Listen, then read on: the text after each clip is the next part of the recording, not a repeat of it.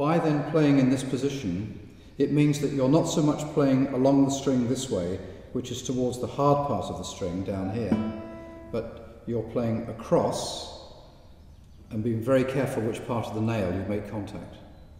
Uh, but also that you can play towards the soft part of the string here, so you get a lot of these sweeping or, or, or slide strokes going that way, which gives that beautiful quality and a more delicate sound.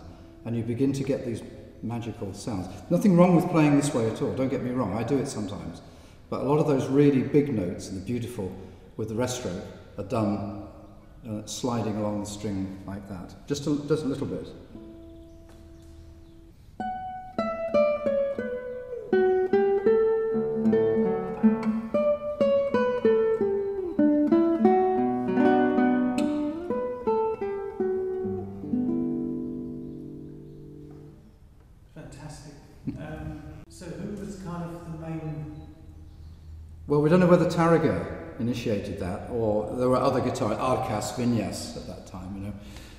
Um, but Segovia was the, the main one who took this and out and in, into the halls and was playing with all these beautiful colours.